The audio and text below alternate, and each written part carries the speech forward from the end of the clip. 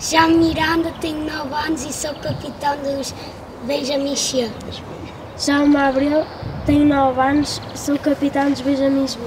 Chamo-me Joaquim Marques, tenho 14 anos, sou capitão dos Iniciados B de Vitória. Sou o Gui, tenho 16 anos, sou capitão dos Juvenis B. Chamo-me André, tenho 17 anos e sou capitão dos Júniors do Vitória Sport Clube. Sou Moreno, tenho 36 anos e sou capitão do, da equipa sénior do Vitória. Flávio Meireles, 41 anos, ex-capitão da equipa principal do Vitória. Sou Alex, ex-capitão também do Vitória e atualmente estou a treinar o Sub-19. Sou o Guedes, tenho 17 anos e sou capitão do Juvenis A de Vitória. Sou Miranda, tenho 14 anos, sou capitão dos Iniciados A de Vitória. Sou o Souza, tenho 12 anos e sou capitão dos Iniciados C de Vitória. Sou o Martim, tenho 11 anos e sou capitão dos Benjamins A de Vitória. Sou o Nantes, tenho 11 anos e sou capitão dos Infantis A de Vitória. Ó oh, Miranda, e para ti, arranja-me uma palavra para definires, uma palavra que tu vejas que é importante para definires o que é um capitão.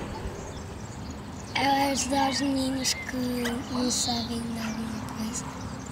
Eu acho que acima de tudo é preciso ter responsabilidade, liderança, certificar que os nossos colegas estão a dar tudo em treino e no jogo também e passar sempre o exemplo nos, em todo, tanto fora como dentro do campo.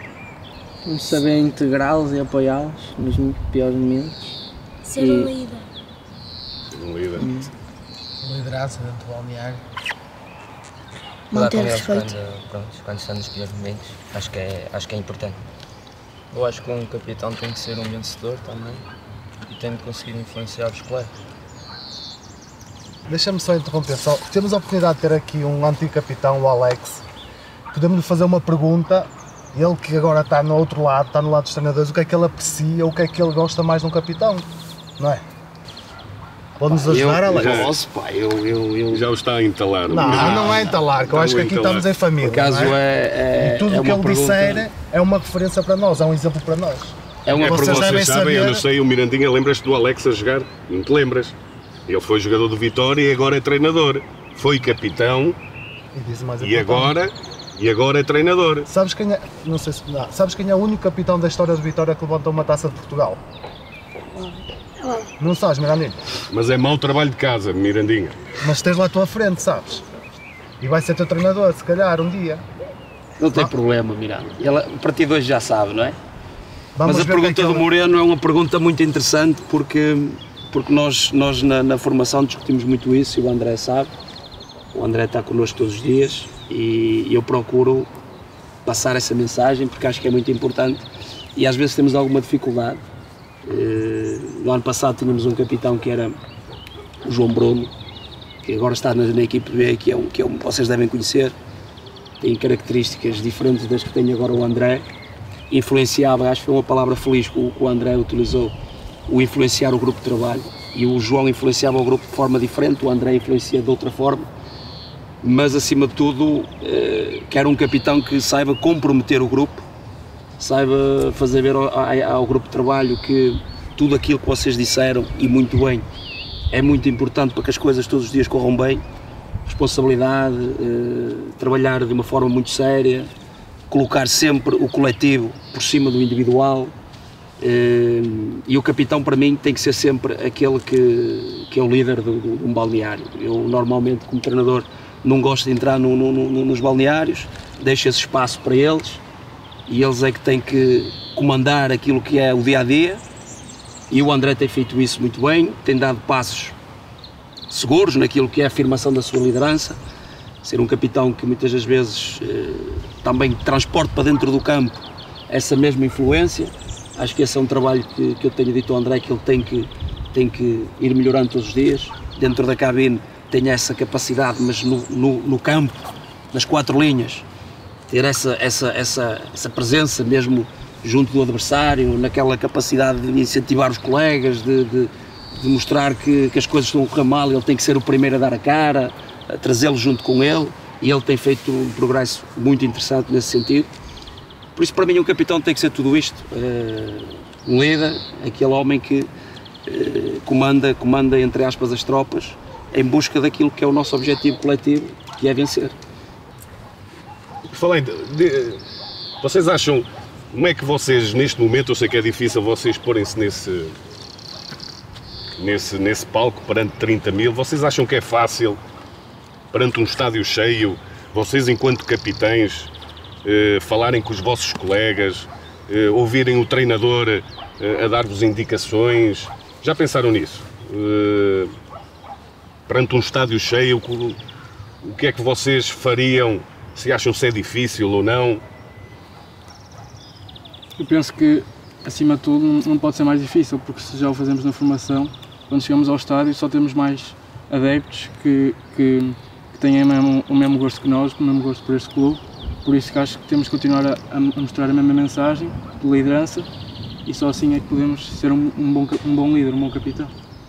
Tu, tu, tu és da opinião de, de que o capitão é só chegar ao domingo, todo bonitinho, à frente da equipa, chega lá dentro, moedas, juiz, senhora, como está, bom jogo. Não. Temos que liderar a equipa nos jogos, temos, temos que apoiar aqueles que erram, ou fazem um mau passe, fazem um remate mau, uma decisão mau, e nós temos que os apoiar que na próxima vai sair bem. É muito importante. Eu acho que acima e, e na posição que vocês estão, ainda estão na, na formação e estão a crescer, eu acho que ser capitão é uma, é uma tarefa diária. É uma tarefa diária, não é só pensar, ah, vou jogar amanhã ou daqui a cinco dias. Não, é uma tarefa diária. Vocês têm responsabilidade para fazer todos os dias cada vez mais e cada vez melhor. E vocês têm uma oportunidade aqui perante os vossos treinadores, que são todos competentes, de, e um capitão tem que saber crescer e aprender com toda a gente. Com toda a gente.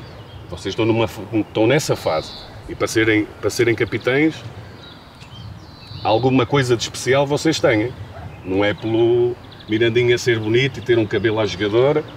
De certeza que o treinador não olhou para ti ou os teus colegas e, e disseram que tu vais ser capitão. Portanto, cada um de vocês tem uma coisa especial, diferente. Sousa, tens de falar mais alto, Sousa. Estava-te a dizer como é que tu falas com o teu companheiro no estádio no estádio Dom Afonso Henriques com 30 mil pessoas. A chamar o, o Miranda. Ora, chama-me lá o Miranda, no estádio. Miranda? Assim, opa! Foi.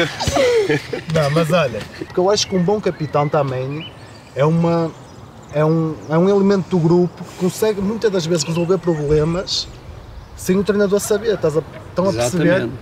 O treinador não precisa de saber. E alguém que tenha, que tenha essa capacidade no meio do grupo, dentro do balneário, resolver um problema sem o treinador saber de nada, acho que isso também é ser um bom capitão. Estão a perceber? Vocês estão na formação e, e- e, se Deus quiser, como dizia aqui o Flávio, vocês são o futuro e vocês vão chegar ao futebol profissional. E ser capitão no futebol profissional é uma coisa muito difícil de executar e que muitas das vezes nos traz também muitos problemas. Porque resolver problemas dentro do grupo, como dizia o Moreno, eh, é a missão de um, de um capitão, mas isso traz, é, traz coisas boas e traz coisas também muito mais naquilo que é depois o relacionamento entre vocês. Vocês nunca tiveram que resolver um problema num grupo e que depois um colega vosso ficasse chateado com vocês porque vocês tiveram que intervir, tiveram que chamar a atenção, tiveram que puxar umas orelhas a um colega. Vocês nunca sentiram isso? Acho que era isso que o Moreno estava a dizer. É exatamente, mas eu acho que é, é muito normal eles não terem histórias porque eu acho que é um ambiente muito mais saudável. E esta é Saudável. que é a verdade. E esta é que é a verdade. Vocês pequeninos é um ambiente muito mais saudável de que conforme vão crescendo ou vão passando escalão, estão a perceber?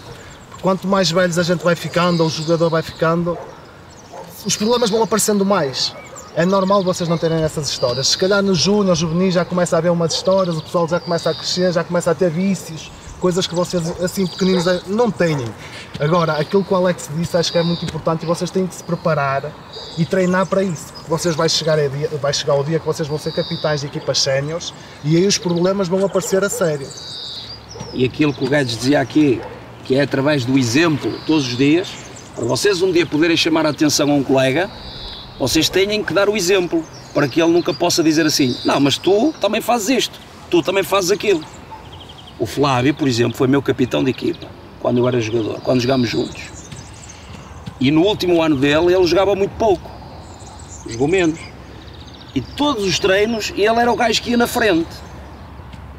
E então todos os outros nunca podiam apontar o dedo quando ele quisesse corrigir alguma coisa ou quando ele quise- quisesse dizer alguma coisa. É por este caminho. E as pessoas diziam, não, este gajo tem razão, porque ele dá o exemplo. E ele vai sempre na frente.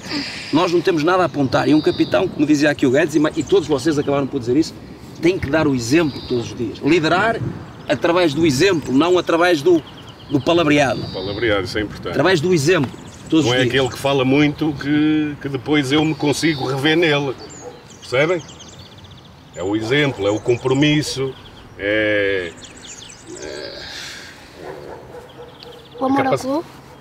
O amor ao clube tem que estar. Se tu és capitão, tu és Guimarães e tu principalmente tu és Guimarães, não é? Já te vi a cantar na claque e isso aí já está dentro de ti, já está. Agora, olha, o controle emocional também é muito importante num capitão, o controle emocional, percebes? Tu, muito amor, às vezes queixavam-se que eu era muito emocional, o Moreno também dizem a mesma coisa, que se- essa paixão eh, que, nós, que nós temos e que nós pomos no jogo, mas temos que pensar que estamos a dar o exemplo a mais 10 colegas que estão dentro de campo. E mais o treinador e mais 7 que ficam eh, cá fora no banco de suplentes. E se nós não tivermos esse controle emocional e chegamos lá e começamos a mandar vir com o árbitro e começamos a mandar vir com toda a gente, perdemos nós o foco, enquanto líderes, e os nossos colegas também. O capitão está a barafustar e a seguir eu também já vou, percebem? E isso depois, no fundo, no resultado final, isso pode nos comprometer.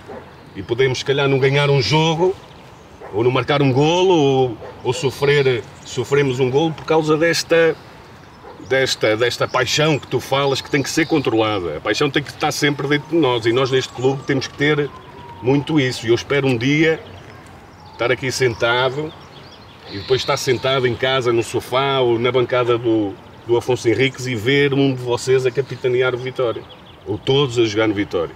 Isso para mim é que, é que me vai encher de, de satisfação e orgulho. E vocês têm essa responsabilidade aqui. Foi a tua equipa que escolheu ou foi o treinador? Foi a minha equipe, Os jogadores? sim. Senti que eles confiavam em mim, que achavam que eu era um bom exemplo para ser capitão. E o que é que vocês acham? Acham que isso que o Alex. Acham que devem.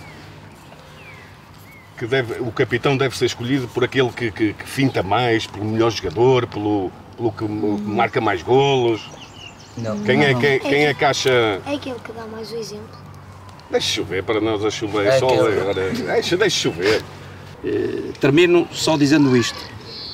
O, o- o- todos vocês conhecem o guarda-redes da equipe B, o Miguel.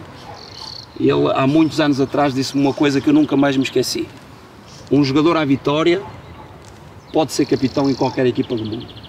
Acho que isto é uma, é uma frase muito interessante que nos pode levar aqui a pensar o que é ser um jogador à vitória. E se nós formos um jogador à vitória, temos todas as capacidades para, sermos, para capitanear, capitanear qualquer equipa do mundo. Mas foi um prazer, da minha parte, estar aqui eh, perante vocês. E não se esqueçam de uma coisa: vocês são o futuro deste clube. E capitanear o Vitória é, é um sentimento e tem que ser sempre uma tarefa diária e um motivo de grande orgulho. Ok? Parabéns a todos e felicidades. Vamos lá, maltinho. Vamos lá, malta.